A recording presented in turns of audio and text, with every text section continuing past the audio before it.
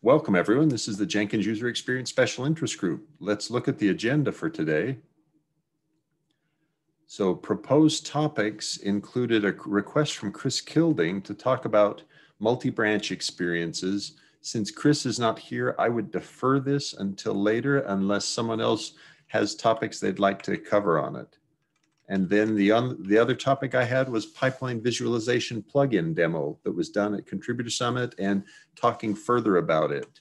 Uh, are, there, are there other topics you'd like to add to this discussion today? I would have want, I wanted to add something that, that came of uh, present day. The ability, which is not possible today, to have multiple pipelines defined for a single, let's say, multi-branch job. Okay, okay, so single multi-branch job, interesting. Okay, so yes. single multi-branch job, not... Yes, for, for a, multi-branch job. You can remove single because I find it confusing in my thing. Okay, got it. All right, and um, I just um, paged myself out of the place. Sorry, just a minute. Okay. All right, so, the, so topic added, great. Any other topics we need to add before we start working through the agenda?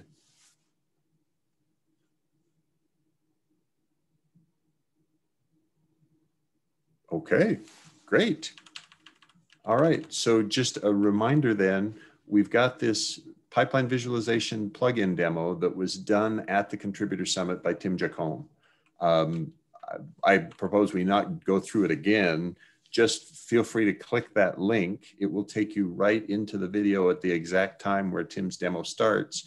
You can watch it and be amazed at so what it does, if I understand correctly, is it extracted a portion of Blue Ocean into a separate plugin that does not require Blue Ocean. Did I understand that correctly? Yeah. That Blue Ocean is mm-hmm. not required, and and yet it's it works, and it shows a visual. It shows the same visual view of the pipeline as I'm accustomed to seeing when I look at the pipeline with Blue Ocean. Right. That's my understanding as well. That is correct. I'm adding the link in the document to the oh. um, prototype plugin. Oh, good. Right. Okay. And and you had said earlier that the prototype plugin hosting request has been submitted. I'm so, not really sure what is um what is the uh, prototype plugin hosting request. Is it something about having the plugin uh, published on plugins.jenkins.io. Is that correct? Right. So it adds it to the update center. Makes it makes it available to others once it's released. Okay. I think it's too early. My understanding of the uh, Felix and then uh, uh, Timja explanation are that it's a bit early. It's a kind of proof of concept. Oh, oh so okay. releasing the plugin as it might have some downsides. But I, I think he sorry, I think Tim Tim wanted it to add it to the Tim requested to add it to the Jenkins CI org in GitHub. I don't know if he necessarily wanted published yet. Right. I do not know. Well, and and adding it, the plugin hosting request does not require that he release anything. And if he hasn't released it, then it won't be visible to Update Center. Exactly. Okay, so good. All right. No, I, I think I, I don't want to, to to speak for any on behalf of anybody else, but I think he also wants to have a very minimal scope and really and put out a release candidate as soon as possible for an alpha. Ah, okay, good. So so intentionally scope limited. See, uh, it should be. I would try to confirm this. Great. Release soon, and accept that it is it is a proof of concept see, or releasing alpha, or whatever you want to call it, but please confirm this with Tim. Right. Okay. Excellent. Thank you. Very good. Okay. Anything else on that topic before we go to the next? Okay, then Damien, multiple pipelines defined for a multi-branch job. Tell, tell us more. So it's a feature that was seen as a, it's an edge case for many years in Jenkins. the goal is uh, when you define a multi-branch pipeline, your use case is, hey, hello Jenkins, can you watch this repository and do your stuff? Meaning watch for branches, pull requests if you have, uh, if it's recognized as a compliant uh, implementation like GitHub, for instance.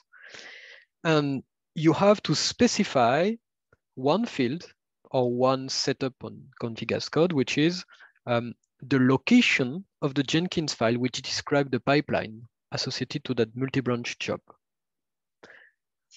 Um, if I compare that process to GitHub Actions, um, in GitHub Actions, you also have a repository and you have a, also convention, like we say it's a Jenkins file by default on the root of the repo. In GitHub Action, you have a .github slash workflows directory. And each YAML file found inside that directory are mapped to what they call a workflow, which is a pipeline in Jenkins concept. This is really useful and we have a bunch of usages even inside our own repository where you have different pipelines on the same repo. So they follow the life cycle of the code, but they do different things. The, the main example I have in mind is one main workflow, so one main pipeline, which goal is, for instance, to lint an Helm chart and to deploy it to production. And that pipeline might have subtleties like, okay, if it's a pull request, then you don't deploy to production, you only lint and you, you output a diff or whatever. So this is what we can do in Jenkins. And you have a second workflow, which is, hey, every day at one o'clock in the night, during the night, let's run that process that check for the new version of a dependency and if there is a new version, then open a pull request with the updated version of that dependency. These are two separated processes. And the idea of having one workflow file for each make it easier to maintain and to think and understand which task is doing what. We can technically have one big Jenkins file doing the two of uh, the, the two tasks, with a bunch of uh, conditionals. For instance, when the trigger is a cron, then you run the update dependency stuff and open the pull request. And when the um, whatever the trigger is uh, pushed code or manually launched by a human, then you do other action. So technically, it's not a blocker. However, in terms of user experience, it's really hard because you start to have a Jenkins file, which is already a tedious syntax when you come from YAML world, when you want descriptive. And everything is done to say if you want something complex, you need to move to scripted imperative. If you come to this from descriptive, one of the way to avoid the tedious maintenance or the imperative programming is to have simple and tiny files. Each file is only doing one task, but it does it well. So here, that's a request I've seen already, but was considered as an edge case. And I have no idea, I'm sure that topic has been blocked most of the time, but this could be really an interesting value. Why now? Because with the rise of GitHub Actions and the use case that it started to use, I tend to see this use case done by us as a community on our own repository on GitHub Actions which means there is a user needs that could be addressed. I have no idea of the complexity of the task on Jenkins, and I'm sure this can be pretty uh, tedious to implement, but the goal is to bring that subject up to see what are people thinking about that, what could be the, the solutions, etc. But I, I thought that this is really user experience thing and I wanted to have feedbacks and proposal on that.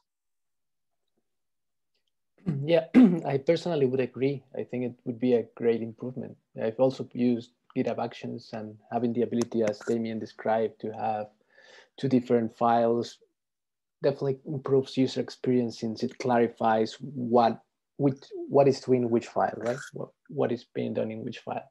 So it, you know, defines two, two separate workflows. You can focus on one or the other. So yeah, I, I agree. And I think it's is definitely an, a user experience uh, thing, right? So yeah, 100% agree on that.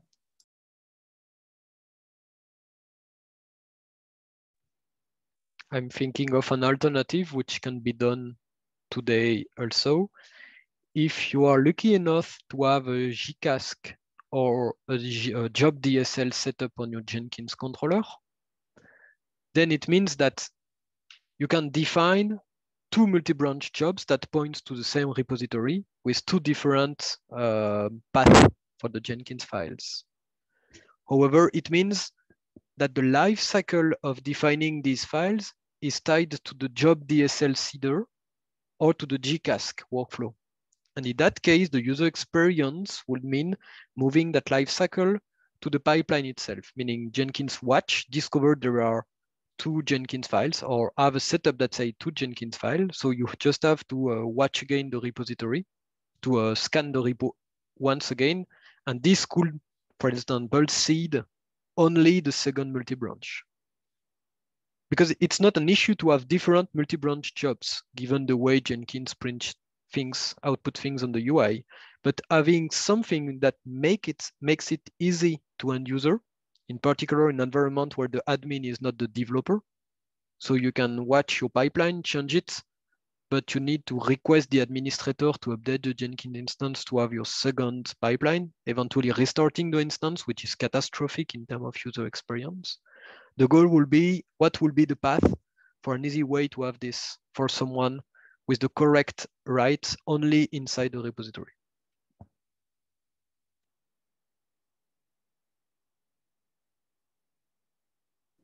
And, and I think I understand the the concept you're you're sharing there because I've I've used exactly this technique in the past to construct multiple in, case, in my case I was constructing multiple multi-branch jobs that pointed at the same repository because I wanted to test different different branch provider implementations but it's the same technique right it is it is perfectly valid to have the problem is then we have we have scattered things into multiple multi-branch folders that might better have been clearer to the user if they were in a single folder. Yeah, I, I see your point. How do, how do you envision, is this something you would take to, to pipeline authoring SIG or to some, uh, what, what do you see as your next steps, Damien? I don't talk that much, and I need um, inputs on that because I'm not really sure about the process for such requests. Um, it, it makes sense to go to the pipeline SIG to see what will be the limit and how it could be understood. They might have already solutions in mind or started stuff. There might be an history on that, so that could be a, a, a good next step. Yeah.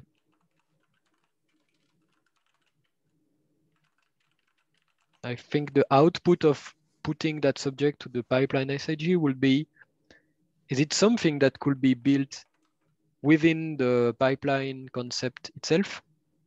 Or is it something that should rely on job DSL and JCasC and another, uh, let's say, um, smart setup that could be automated outside the pipeline itself and we will keep one pipeline, meaning one multi-branch with one given file, but having a system that make it easy for the user to have multiple.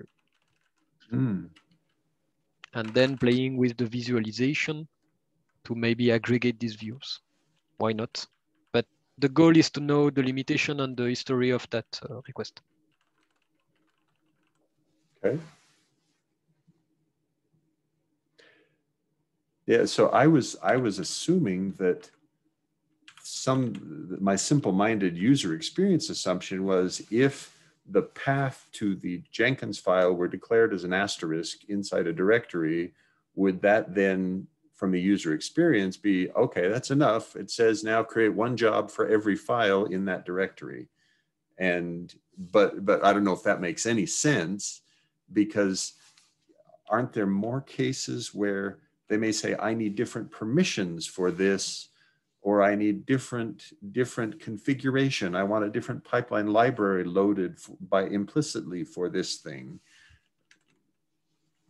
Interesting that if the, the name of the job, yeah, you can create the job by default. Yeah, we have to check the fine-tuned RBAC settings, but yeah, that could be a good idea. Not sure if no, the, I'm not sure if the view could help on that because we already have three tabs on the multi-branch job. You have the, the branches, the pull request, eventually the tags if you have set up your job specifically with this. So having, I don't know, um, a tab that lists the different pipeline detected, maybe. Not sure. Haven't talked that yet. That's that's also a good point, since we can create jobs within the folder of the multi-branch. That could be a way with the correct naming to support this and putting the asterisks. Mm. Uh, that's a really good idea. Okay. Anything else on the multiple pipelines defined for a multi-branch job, Damien? No, that's all. Okay. Any other topics that we should should discuss today?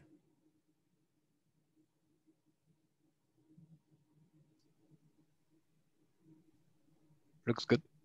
Okay. I propose we call an end for today's session. Uh, we'll meet again in two weeks, right? See you then. See you then.